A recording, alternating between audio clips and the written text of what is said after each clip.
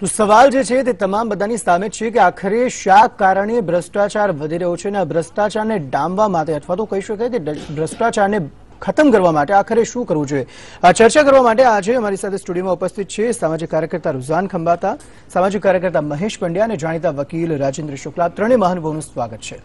મહેશભાઈ, સૌથી પહેલા એ સૌથી મહત્વનો સવાલ આપને પૂછવા માંગુ છું કે આખરે શા કારણે ભ્રષ્ટાચારમાં આટલો બધો વધારો થઈ રહ્યો છે? નરેન્દ્ર મોદીની સરકાર કહેવાય છે અને નરેન્દ્ર મોદીએ જેમ કહ્યું છે કે ખાતું પણ નથી અને ખાવા દેતું પણ નથી. પરંતુ કહી શકાય કે ગુજરાતમાં જ જે એક મોડલ રાજ્ય છે સમગ્ર દેશમાં, તેમાં જ આ પ્રકારના બનાવો સામે આવે છે. સૌથી વધારે ભ્રષ્ટાચાર અહીં સામે આવે છે. ત્યારે શું કહેશો આપ? અંકિતભાઈ, સવાલ થાય પારદર્શિતાનો. જ્યાં પારદર્શિતા ના હોય, ત્યાં સવાલ આવીને ઊભો રહે. આપે જે સંદેશ ન્યૂઝ ચેનલે જે આંકડા બતાવ્યા છે, એ તો કદાચ એમ કહું કે પાશેરામાં પહેલી પૂણી છે. પણ વિકરાળ સ્વરૂપે ભ્રષ્ટાચાર વકર્યો છે. તકેદારી પંચનો અહેવાલ પણ દર વર્ષે વિધાનસભાના મેચ પર મુકાય છે. એક્શનનું શું? મારે તો એ કહેવું છે ખંડણી જે ઉઘરાવી, એન્કાઉન્ટર થયા એ વખતે, ત્યારે આરટીઆઈના કમિશનરે આદેશ કર્યો કે એની યાદી જાહેર કરો. આજ દિન સુધી સરકારે આ યાદી પણ નથી આપી. એટલે પારદર્શિતા નથી. એટલે માહિતી અધિકારનો કાયદો લૂલો બનાવી દેવામાં આવ્યો. અને નહીં તો જો એની છૂટ આપવામાં આવી હોત. અને જ્યારે પોલીસના ભ્રષ્ટાચારની વાત કરવામાં આવે છે, તો શિડ્યુલ ટુ પ્રમાણે અમે ના આપીએ એમ કરીને નકારવામાં આવે છે. કમિશનરમાં જાઓ, આદેશ લો, પછી કંઈ થતું નથી, પછી આમ આદમી હાઈકોર્ટ સુધી જવા સક્ષમ નથી હોતો. એટલે મારે એ કહેવું છે, ગુડ ગવર્નન્સ જે પચીસમી ડિસેમ્બરે આપણે ઉજવ્યો, એનો સદંતર અભાવ ગુજરાતમાં છે. અને જે મોડેલ ઊભું કર્યું છે આપણે પીપીપી મોડેલ અને બીજા વિકાસના બે જુદા જુદા મોડેલો એ મોડેલો એ ભ્રષ્ટાચારનું એક જબરજસ્ત સાધન છે. અને આ બધા કારણોથી ભ્રષ્ટાચાર ફૂલે ફાલ્યો છે. બહાર નથી આવતો. તમે અને આને શિક્ષાત્મક પગલાં નથી લેવાતા. મંત્રીઓ ભ્રષ્ટાચારમાં સંડોવાયેલા હોય તમે મંત્રી તરીકે ચાલુ રાખો એને રોકો નહીં. હાઈકોર્ટે વારંવાર સૂચના આપવી પડે કે એની પર પોલીસ કેસ દાખલ કરો. તેમ છતાંય મંત્રી બધું ચાલુ હોય અને ત્રણ ત્રણ વર્ષે કેસ દાખલ ના થાય એટલે પછી લીલા લહેર. એટલે શિક્ષાત્મક પગલાં લેવાની ક્યાંક જરૂર આપને વર્તારે છે. દર્શક મિત્રો આપ પણ આપના મંતવ્યો જણાવી શકો છો આ બાબતે અને આજ અંગે વધુ એક કોલર અમારી સાથે જોડાઈ ગયા છે મનુભાઈ આણંદથી. જી મનુભાઈ જણાવશો આપના પ્રતિભાવ શું છે? આ- આના જે ભ્રષ્ટાચારનું મૂળ છે ને એ કાયદા ખરાબ છે. એટલા બધા કાયદા આપણે ખરાબ એવા જે આ મહેસૂલ. આ મહેસૂલના લગતા કાયદા એવા ખરા કે તમે આ કહો તો આ ના કહો તો ના. એક કોઈ કલમ હોય, જો મામલતદાર કે ડેપ્યુટી કલેક્ટર કલર એ ઓકે કરો હોય, તો તમારે જે માગે પૈસા આપો ઓકે થાય. જો તમે પૈસા ના આપો તો ઓકે, તો કેન્સલ કરે. એટલે તમારે પછી હાઈકોર્ટમાં સુપ્રીમ બધે અને જીઆરટી બધે દ્વારા દ્વારા કરવું પડે. એટલે તમારે કાયદા એટલા ખરાબ છે મહેસૂલના, કે તમારે જો પૈસા ના આપો તો તમે જ હેરાન થઈ જાઓ. બિલકુલ આભાર મનુભાઈ અમારી સાથે જોડાવા બદલ રાજેન્દ્રભાઈ એક ખૂબ જ મહત્વનો પ્રશ્ન છે. જે મહેશભાઈએ પણ જણાવ્યું ને જે કોલર હતા તેમણે પણ જણાવ્યું કે શિક્ષાત્મક પગલા ક્યાંક ને ક્યાંક નથી લેવાતા. એસીબી પોતાનું કામ કરી દે છે જે ભ્રષ્ટાચારી અધિકારીઓ છે તેમને પકડી લે છે. પરંતુ ત્યારબાદ જે પગલાં લેવા જોઈએ શિક્ષાત્મક તે ક્યાંક નથી લેવાતા. આપ શું કહેશો કે કોઈ શિક્ષાત્મક પગલા પગલા એવા કોઈ લેવા છે ખરા? કાયદાકીય રીતે એવા કોઈ પગલા લેવા છે ખરા? હું આપણે બે ત્રણ વાત સ્પષ્ટ કહું કે લાંચ આપતા પકડાવ તો લાંચ આપીને છૂટી જાઓ. આ એક પહેલું સૂત્ર છે. એટલે જે કાયદાની ડિટરન્ટ ઇફેક્ટ છે, કાયદાની બીક છે, હું એવું માનું છું જે ભ્રષ્ટાચાર નિવારણનો કાયદો છે, એ સફિશિયન્ટ છે, પણ એની પાછળની મનસા એટલે પોલિટિકલ વિલનો અભાવ છે. હું તમને એવા દસ દાખલા આપું કે જેની અંદર માણસ પકડાયા હોય, મામલતદાર પકડાયા, કે પીએસઆઈ પકડાયા, તો કદાચ એ જેલમાં જાય, અઠવાડિયું સસ્પેન્ડ એટલે બે ત્રણ મહિના સસ્પેન્ડ પાછા એ લોકોને કેસનો નિકાલ થતાં પહેલાં નોકરીમાં રાખવામાં આવે છે. એટલે એમની હિંમત ખુલી જાય છે. એટલે કહેવાનો મુદ્દો એ છે કે ખુદ એસીબીએ પોતે એસીબીના ડાયરેક્ટર જે હમણાં છેલ્લો કાગળ આવ્યો, એ લોકોએ કીધું કે તમે પૂરતી કોર્ટ આપો. અને ત્રીસ ટકા કન્વિક્શન રેટ છે. એટલે સો કેસો થાય, એમાં માત્ર ત્રીસ જ જણને સજા થાય એટલે એનો અર્થ એવો થયો કે સિત્તેર જણા નિર્દોષ છે? ના. ટેકનિકલ ભૂલોના કારણે, અથવા ઇન્વેસ્ટિગેશનની મેથડના કારણે, અથવા સાક્ષીઓ હોસ્ટાઇલ થવાના કારણે, એ લોકોને બેનિફિટ ઓફ ડાઉટ મળે છે. હકીકતમાં નિર્દોષ નથી. એટલે ભ્રષ્ટાચાર એટલો મોટા પ્રમાણમાં વ્યાપક છે અને એસીબી એ કોઈ એનું પેરામીટર નથી. જે ભ્રષ્ટાચાર છે, એના દસ ટકા કે પંદર ટકા કેસો રિપોર્ટ થાય છે. અત્યારે તમે મહેસૂલની વાત કરી પેલા ભાઈએ, હું તમને કહું કે અમદાવાદમાં કોઈ નવી શરતની જમીન, જૂની શરતની કરાવી હોય કે પ્રસપાની તો મામલતદારનો ભાવ બાંધેલો કે હું વારે પાંચ રૂપિયા લઉં, મીટરે પાંચ રૂપિયા લઉં છું. ડેપ્યુટી કલેક્ટર કહેશે, હું મીટરે પંદર રૂપિયા લઉં છું. અને કલેક્ટર સાહેબ એવું કહેશે, મારા મીટરે આટલા રૂપિયા. એટલે ટૂંકમાં એની પાછી લાઈન ગોઠવાયેલી છે. અને એ લાઈનથી બધાના પોતે ભાવ બોલે છે. અને આ બધાથી કદાચ એવું પણ થાય છે કે જે જે એકચ્યુઅલમાં જે ભાવ હોય છે જમીનનો ભાવ હોય છે અથવા તો ઘરનો ભાવ હોય છે તે વધી જાય છે. ના ના વધવા કરતા મુખ્ય વસ્તુ કે એ બે નંબરના પૈસા ના આપો તો જમીન જૂની શરતી થતી જ નથી. પ્રસપ જ રહે છે અને આમાં છેકલે સુધી એના તંત્રમાં એના એજન્ટો ગોઠવાયેલા છે. જે પોલીસ માણસો છે ધારો આપણે કીધું તો મામલતદાર હોય કે ડેપ્યુટી કલેક્ટર કે કલેક્ટર હોય એ જાતે પૈસા નથી લેતા. એમની લાઈન ચેનલાઇઝ ગોઠવાયેલી છે એટલે તમારે કોઈ પણ અરજદારે પહેલાંની લાઈન શોધવાની કે કોના થ્રુ પૈસા લે છે કોના થ્રુ કામ ચાલે છે કેટલો મીટરનો ભાવ ચાલે છે. મારી પાસે આવા દસ દાખલા છે જાહેરમાં કહેવાનો અર્થ નથી.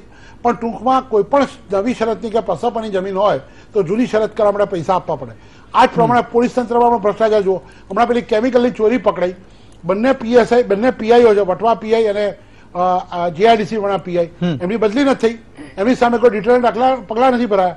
એટલે પછી એમ કે અમારું શું બગાડ લીધું? અમે તો ઉપર હપ્તા આપીએ છીએ. એક્ઝેક્ટલી એટલે અધિકારીઓ ફક્ત એક જ વસ્તુ વિચારે છે કે અમારું કોઈ કશું બગાડી નથી શકવાનું કારણ કે અમે લોકો હપ્તા આપીએ છીએ. અમે લોકો લાંચ આપીને એ વસ્તુ ઢાંકી દઈએ છીએ. અને એક કોલર જોડાયા છે. રમેશભાઈ રમેશભાઈ આપના પ્રતિભાવ શું છે જણાવો? હેલો હેલો જી રમેશભાઈ આપના પ્રતિભાવ શું છે જણાવો? અમારે કહું છું ખેતીવાડીમાં લાઈટો આપે છે. એ કે ત્યાંથી મોટરો લઈને તો જ અમને લાઈટો ને એવું આપે. જી. જી પરંતુ શું કહેશો? જે ભ્રષ્ટાચાર જે પ્રમાણે વ્યાપી રહ્યો છે અને જે અધિકારીઓ છે જે ગવર્મેન્ટ જે એમ્પ્લોઈઝ છે તે જ આમાં સૌથી વધારે ભાગ ભજવે છે. સૌથી વધારે ભ્રષ્ટાચાર તે જ કરે છે. લાગે છે સંપર્ક કપાઈ ગયો છે. રમેશભાઈ આભાર અમારી સાથે જોડાવા બદલ અંકિતભાઈ એમણે ભ્રષ્ટાચારની જ વાત કરી. એમ કહે છે કે અમે આપીએ અમે કહીએ એ જગ્યાએથી જ મીટર તમે લો. એટલે એની ચેનલ ગોઠવાયેલી હોય જે શુક્લ સાહેબે વાત કરી છે. એટલે ભ્રષ્ટાચારનો એક ભાગ છે આ. રુઝાનજી આપ શું કહેશો? ભ્રષ્ટાચાર જે પ્રમાણે વધી રહ્યું છે આખરે શા કારણે આપને લાગી રહ્યું છે કે ભ્રષ્ટાચારનું પ્રમાણ આટલું બધું કેમ વધી રહ્યું છે? સી આપણે બધાને ખબર છે ત્રણ વર્ષ પહેલા આઈ થિંક બે કે ત્રણ વર્ષ પહેલા પેલું એન્ટી કરપ્શનનું જે મોટું આંદોલન થયું હતું બધા જ એમાં જોડાઈ ગયા હતા.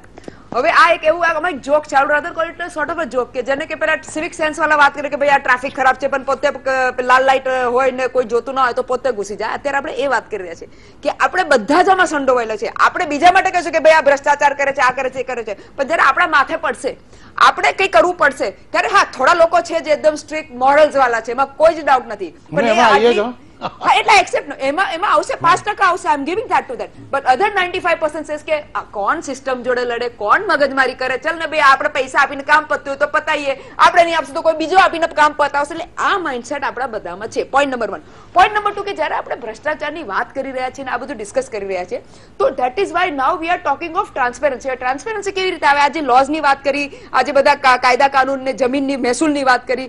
ઓબ્વિયસલી એ બહુ જ કોમ્પ્લિકેટેડ કર્યું છે. એટલે ધીરે ધીરે ગવર્મેન્ટ એને ટ્રાન્સપેરન્સી માટે એને કમ્પ્યુટરાઇઝ કરવા માંગે છે. અને એનાથી શું થાય કે લોકોને ધક્કા બી ના થાય ને આજે ફાઇલ મૂવ કરવાના પૈસા આપવા પડે છે. અને આજે સાહેબે કહ્યું સાચી વાત છે ચેનલો સેટ થાય છે એમાં કોઈ જ ડાઉટ નથી. પણ હવે ધીરે ધીરે એનું ઓછું થાય છે.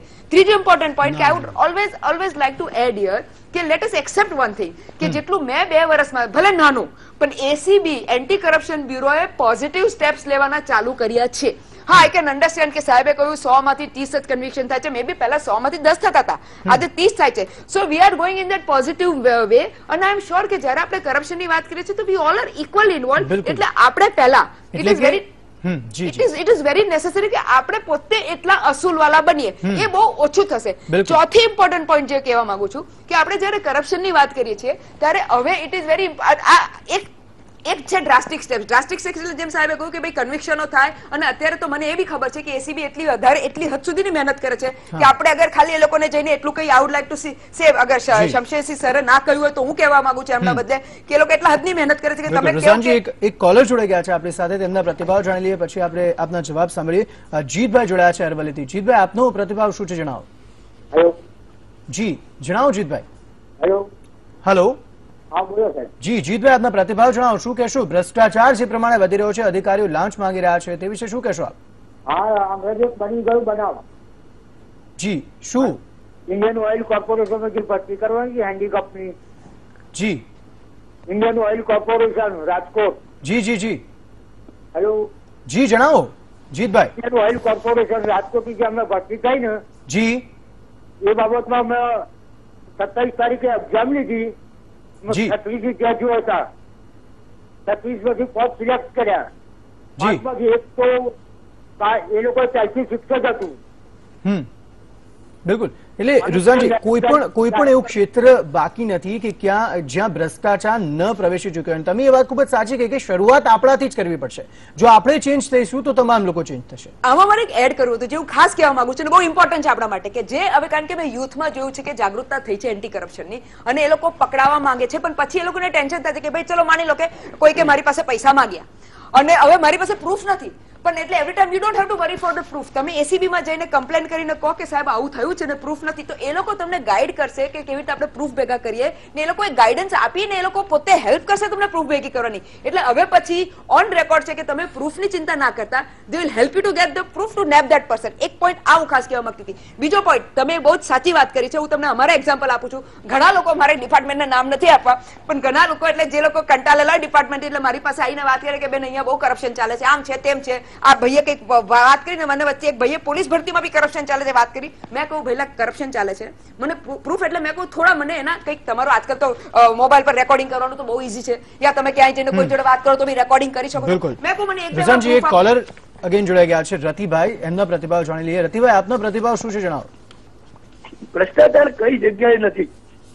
દરેક કોન્ટ્રાક્ટ ને ફોર્મ જે આપવામાં આવે છે એનો ઉપરનો અધિકારી એન્જિનિયર એન્જિનિયર તમામ ટકાવારી પટેલી જોઈશ કોઈ કહેતું નથી આ સ્પષ્ટ, આ કોઈ એન્ટી કરપ્શન ને કહેવા જેવી વાત નથી કે કોઈની બધા જ જોડે અને છતાં પણ કોઈ કાર્યવાહી કરી રોડનું કામ આપ્યું હોય બિલ્ડિંગનું કામ આપ્યું હોય પુલનું કામ આપ્યું હોય, કે કોઈ પણ કામ. એક અને એમની ટકાવારી બાંધેલી છે. કેમ કોઈ જગ્યાએ કોઈ જાગૃત નથી? જગ્યાએ, જે જગ્યાએ રોડનું કામ ચાલતું હોય, એ જગ્યાએ કેમ ઉપરો અધિકારી, એન્જિનિયર જોવા આવતો નથી. અને જોવા આવે તો અમારા જેવા જાગૃત થયે કે ભાઈ જુઓ આમાં સિમેન્ટનું ટોકન જુઓ. અને રેતનું ટોકન જુઓ. ટકાવારી એની કોઈ સચવાતી જ નથી. તો એ આ કોણ બી આ કોણ આપણી કાઢના છે જી. પરંતુ રતિભાઈ આપને નથી લાગતું કે આપણે પોતે પણ જાગૃત થવાની જરૂર છે? હા અમે જાગૃત ઘણા છીએ. જાગૃત કહીએ છીએ. પણ પેલો ચોપડા લખે તો ને જી જી, રતિભાઈ, આભાર અમારી સાથે જોડાવા જી, રાજેન્દ્રભાઈ, આપ કઈ કહેવા માંગો છો? મારું કહેવાની સ્પષ્ટ વાત છે કે તલાટીનું કૌભાંડ થયું. તલાટી ભરતી કૌભાંડ. અને કરોડો રૂપિયાની એરાફેરી થઈ. પકડાયા પૈસા. એ ભાઈએ પકડાયા. અત્યારે જામીન પર છૂટી ગયા. હવે જે લોકો પાસેથી પૈસા મેળવવામાં આવ્યા હતા, નામદાર હાઈકોર્ટે કીધું કે નવેસરથી ભરતી કરો. તો એ લોકોને રિફંડ મળ્યા. પેલાને સજા થઈ. તો સરકાર આ બાબતમાં કોઈ વિજિલન્ટ નથી. આવું જ મોટું કૌભાંડ હમણાં છેલ્લે પીએસઆઈ ભરતીનું થયું. એમાં હાઈકોર્ટમાં બે વાર રીટ થઈ છે. હાઈકોર્ટની રીટ ચાલુ છે. હાઈકોર્ટે ખુલાસા માંગ્યા. મેં પોતે એનું ડ્રાફ્ટિંગ એને કરી આપેલું. કન્સર્ન જે લોકો રહી ગયા છે એમાં. એમાં ખોટા ગુણ મૂકવામાં આવ્યા. પહેલા આ બધું ભરતીનું વાત સરકારમાં ગવર્મેન્ટ યુપીએસસી જીપીએસસી કરતી હતી. અને બાદમાં બીજું કમિશન કરતું હતું. એને બદલે ખાસ પોલીસનું જ કમિશન બનાવવામાં આવ્યું. એટલે ઘરના ઘરના માણસોને રક્ષા રાજેન્દ્રભાઈ ફરી એ બાબત સામે આવી જાય છે કે કોઈ શિક્ષાત્મક પગલા અહીંયા થતા નથી. આ ચર્ચાને આગળ પણ વધારી વેલકમ બેક. ચર્ચાને આગળ વધારીએ. અમારી સાથે મહાનુભાવ જોડાયેલા છે. મહેશભાઈ આપને પૂછવા માંગીશ જે પ્રમાણે એક કોલરે પણ જણાવ્યું કે મીટરો અમારે જો લેવા હોય તો જે રો મટીરિયલ હોય છે તે અમારે ત્યાંથી જ ખરીદો.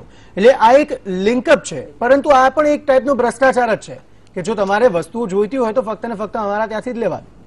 બિલકુલ. અને એ જ રીતે માનો કે તમારા આ ભૂંડનો ત્રાસ છે જાનવરોનો ત્રાસ છે એની ફેન્સિંગમાં પચાસ ટકા સરકાર હાથ આપે પણ એ ફેન્સિંગની વાડ અમારા ત્યાંથી જ લો. એટલે આખી ચેનલો ગોઠવાયેલી છે કે જેમાં ટકાવારી હોય છે. અને બીજી વાત અંકિતભાઈ મારે એ કરવી છે કે આ ઓનલાઈન કરો કે ના કરો કે કોઈ એસીબી ફરિયાદ કરે કે ના કરે. અમદાવાદમાં દર વર્ષે જે રોડો તૂટી જાય છે એ શું બતાવે છે? એ ભ્રષ્ટાચારનો જીવતો જ આપતો પુરાવો નથી. એટલે એના માટે મારે એસીબીમાં જવાનું એના માટે મારે ભ્રષ્ટાચાર વિરોધી તંત્રને લખવાનું. આ itself shows that it's a corruption તો આમાં તંત્રની અને અને મારે બેન સાથે સંમત થવું પડે કે લોકો કેમ જવાબદાર નથી? તમને વોટ આપવાનો અધિકાર આપ્યો છે. તો તમે જુઓ છો કે દર વર્ષે રોડ તૂટે છે તમારા ટેક્સથી પૈસાથી બને છે અને આટલો બધો ભ્રષ્ટાચાર થાય, લોકો કેમ જાગતા નથી? લોકોએ પણ જાગવું જોઈએ આ મુદ્દા ઉપર. તમે માનો કે એસીબી માં જઈ શકો. એમને કહ્યું કે એસીબી માં જાઓ. કોલર જોડાઈ ગયા છે તેમના પ્રતિભાવ આપણે લઈ લઈએ. આશીષભાઈ જી જણાવો આપના પ્રતિભાવ. હલો. જી આશીષભાઈ. મારું તો એ કેવું છે સાહેબ કે એસીબી તો બનાવેલું છે એન્ટી કરપ્શન બ્યુરો પણ એન્ટી કરપ્શન બ્યુરોમાં બી આપણને એટલી હદે અત્યારે ભ્રષ્ટાચાર છે જેથી કરીને આપણને એવું લાગે કે એન્ટી કરપ્શન બ્યુરો બી ભ્રષ્ટાચારમાં એટલું જ ભાગીદાર હશે. એટલી બીક લાગે છે કે એટલી જગ્યાએ ભ્રષ્ટાચાર હોય છે આમ. જી આશીષભાઈ આભાર અમારી સાથે જોડાવો જી મહેશભાઈ. અંકિતભાઈ એટલે એમણે જે વાત કરી હું સંમત છું કે મને બીક લાગે છે. કે વિસલ બ્લોઅરની વાતો તમે કરતા હો પણ હું એસીબી માં જઉં અરજી કરવા એટલે એસીબી જ લીક કરે અને જો એમના જ લાગતા વળગતા હોય તો મારો ખૂન થવાની બહુ શક્યતા હોય બિલકુલ. એટલે ખૂબ જ આજે- હોય છે ખૂબ જ લાંબા ગાળાની પ્રોસેસ હોય છે. જો લોકો જઈ શકતા નથી. જે. શુક્લ સાહેબ વધારે ફોકસ કરે છે લલિતા દેવનું એમને ઉદાહરણ આપ્યું. આજે મારે પોલીસમાં ફરિયાદ કરવા જોઈએ પોલીસ ફરિયાદ નથી લેતા. હવે પોલીસ ફરિયાદ ના લે તો તાલુકા મેજિસ્ટ્રેટમાં જવું જોઈએ પણ એનું બોર્ડ ને મુકાવવું જોઈએ. લોકોને ખબર જ ના હોય. બોર્ડની હું આપને કહું. એટલે એટલે લોકો જઈ શકતા નથી ઉપયોગ નથી કરી સ્પષ્ટ કહું. કે સુપ્રીમ કોર્ટે ફૂલ બેન્ચે એવો ચુકાદો આપ્યો. Lalita Kumari versus state of UP એમાં એવું છે કે દરેક એકસો ચોપન એક અને ત્રણ મુજબ દરેક કોગ્નિઝેબલ ગુનાની ફરિયાદ નોંધાવી જોઈએ. અત્યારે એ સુપ્રીમ કોર્ટના ચુકાદાને અમલી બનાવવા માટે નામદાર ગુજરાત હાઈકોર્ટમાં દર મહિ- વર્ષે ઓછામાં ઓછી પાંચથી સાત હજાર એપ્લિકેશનો દાખલ થાય છે. જેની અંદર એવું કહેવામાં આવે કે અમારી ફરિયાદ લો. એટલે એનો અર્થ કે સરકારે પોલીસ તંત્ર પર એવી રોક લગાડી છે કે જમીનના ગુના ના નોંધવા. સીટમાં લઈ જવું. ફલાણું કરવું. એક અન્ય કોલર જોડાઈ ગયા છે શૈલેષભાઈ. શૈલેષભાઈ આપના પ્રતિભાવ જણાવો. સુરેન્દ્રનગરથી શૈલેષભાઈ બોલું છું? જી શૈલેષભાઈ. પંડ્યા સાહેબને પણ હું સારી રીતે મહેશભાઈને પણ સારી રીતે ઓળખું છું અને હું સામાજિક કાર્યકર પણ છું. જી. હવે હું છેલ્લા લગભગ સુરેન્દ્રનગરની અંદર વીસ વર્ષથી જાહેર જીવનમાં કામ કરું છું ને એનજીઓ માં કામ કરું છું. જી જી જી. અમારા ખાસ તો મુદ્દાઓ લગભગ રેવન્યુના મુદ્દાઓ પર અમે કામ કરવું છે. આજે પણ અમે રેવન્યુના મુદ્દા ઉપર કામ કરીએ છીએ કે સાતની અને ટોચ મર્યાદામાં જે લોકોને ગરીબ લોકોને જે જમીનો મળી છે એ લોકોને હજી સુધી કબજા નથી. આજે પણ છેલ્લા આજે હું લગભગ બપોરે બે વાગે કોર્ટ કલેક્ટર કચેરીમાં હતો અને માપણી ભવનમાં હતો. જી, શૈલેષભાઈ. જી, જી, માણસ છે કેવડાનો માણસ છે એને ખાલી માપણી છે એની માપણી કરાવી છે જી જી શૈલેષભાઈ આભાર અમારી સાથે જોડાવા બદલ રુઝાનબેન આપ શું કહેશો? મારે કેવું છે કે અત્યારે આપણે જે વાત કરી રહ્યા છે આ તો બહુ એક મોટી માયાજાલ છે. એક્સેપ્ટેડ છે કે માયાજાલ છે ને એમાંથી આપણે બધાએ બહાર નીકળવાનું છે. એક નાનો એક્ઝામ્પલ આપું મોટી વાત નથી કરી રહી પણ આ પ્રેક્ટિકલ છે એટલે થઈ શકે એ પોઈન્ટ ઓફ વ્યૂથી કહી રહી છું કે તમે અગર જાપાન અને યુએસ ના પેલા જે હિરોશિમા નાગાસાકી બોમ્બ પછી ખલાસ થઈ ગયું હતું. આખું એ લોકોએ પોતાની જે જાપાનને બિલ્ડ કર્યું છે એમાં એ લોકોનો ફંડા હતો નેશન ફર્સ્ટ હરેક માણસ પોતાના નેશન માટે કામ કરતો હતો. ખાલી પોતાના જાત માટે નહોતો કામ કરતો. એટલે જ્યાં સુધી આપણે આ ફંડા બી થોડો આપણો અગર કેરેક્ટર બિલ્ડિંગ જેને અમે કહીએ છીએ અગર કેરેક્ટર બિલ્ડિંગ પર થોડું ધ્યાન આપશું અને બીજી વાત અગર આપણે આ રીતે માયાજાલની વાત કરશું તો આનો કોઈ એન્ડ નથી. There are two approaches one મેં કહ્યું કે જે મેં નેશન ફર્સ્ટ કેરેક્ટર બિલ્ડિંગ જે પ્રોસેસ છે આજે આજે કહીશું તો કાલે થવાનો નથી. પણ બીજી ચીજ થઈ શકવાની છે અને એ છે કે લેટ અસ બી મોર ધીરે ધીરે let us be transparent in terms of if we start using technology કે બધું ઓટોમેટિક જાણે કે એક્ઝામ્પલ આપું. પહેલા આપણે આ પાસપોર્ટમાં પાસપોર્ટ જ્યારે બનતી હતી ભયંકર ભ્રષ્ટાચાર થતો હતો. આનો રેકોર્ડ છે જોઈ લેજો. આંકડા કા સાહેબ કાઢી આપશે. અને અત્યારે પાસપોર્ટ પર એટલા હદ સુધી થઈ ગયું છે કે તમને હાર્ડલી ફાઈવ પર્સન્ટ હશે ભ્રષ્ટાચાર ના નથી પાડતી પણ નાઇન્ટી ફાઈવ પર્સન્ટ એમાંથી ભ્રષ્ટાચાર નીકળી ગયો છે. Why because everything is the systems are so strong કે બધું એમાંથી નીકળી ગયું છે. ચોક્કસ ચર્ચાને આગળ વધારીશું અને તેના ઉપાયો પણ કદાચ આપણે મહાનુભાવ પાસેથી માંગીશું કે આ ભ્રષ્ટાચારને દૂર કરવા માટેના ઉપાયો શું છે? પરંતુ હાલ રોકાઈશું એક બ્રેક માટે. ચર્ચાને આગળ વધારીએ અન્ય કોલર પણ જોડાયા છે વિરેન્દ્રભાઈ. વિરેન્દ્રભાઈ આપનું શું પ્રતિભાવ છે જણાવો. હલો હાલો જી વિરેન્દ્રભાઈ આપનું શું પ્રતિભાવ છે જણાવો. અમદાવાદ જિલ્લાના ધોળકા તાલુકામાંથી બોલું છું સાહેબ. સરગવાડામાં છેલ્લા ભ્રષ્ટાચારના કારણે જી. તમારે આજે સંદેશ ન્યૂઝ વાળા એક સરસ ભ્રષ્ટાચાર વિરુદ્ધ જે આંદોલન ચાલુ કર્યું છે એ બદલ તમારો આભાર.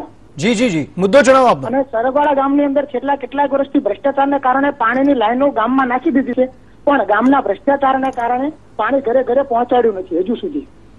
બિલકુલ.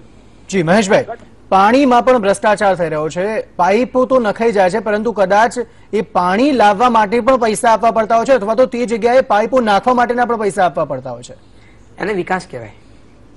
ખાડો ખોદવો અને પૂરવો અને કામો ચાલતા રહે અને વિકાસની એક એક ભ્રષ્ટાચારનો વિકાસ કહેવાય એક્ઝેક્ટલી એટલે આ તંત્ર બહુ સિસ્ટમેટિક ચાલી રહ્યું છે.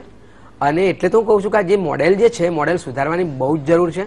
આજને તો કાલે લોકોને જ્યારે ખબર પડશે તમે મેટ્રો રેલ હજુ નખાઈ નહીં અને ત્રણસો પચાસ કરોડનું કૌભાંડ બહાર આવ્યું. તો હતું જ. પણ પકડવામાં નહોતું આવ્યું. આવ્યું. પણ પછી એ એ જાહેર થયું. એટલે એ જે આખા જે નવા નવા પ્રોજેક્ટો આવ્યા છે એ નવા નવા પ્રોજેક્ટોમાં ભ્રષ્ટાચાર મોટા પાયે વકર્યો છે. કમનસીબે આનંદીબેને સ્વીકારવું પડ્યું અને બોલવું પડ્યું. એમના કાર્યકરોને આમ સાદી ભાષામાં કહ્યું પણ એમણે પણ અલ્ટિમેટલી સ્વીકાર્યું કે ભ્રષ્ટાચાર થાય છે. એટલે આ જે જે મોડેલો ઊભા કરવામાં આવ્યા છે તમે કોણ